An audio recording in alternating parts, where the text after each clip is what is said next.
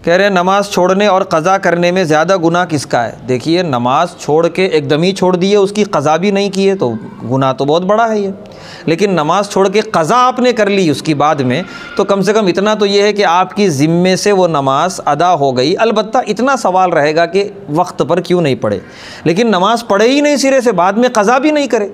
तो क्यों नहीं पढ़े वक्त पर और बाद में क़ज़ा नहीं, क्यों नहीं करे? ये दोनों सवाल आपसे किया जाएगा। तो असल तो ये है कि जमात से नमाज़ पढ़ी जाए, लेकिन कभी छूट जाए तो फ़ौर क़ज़ा कर ली जाए। उसको हमेशा हमेश के लिए छूटा न रहने दिया जाए।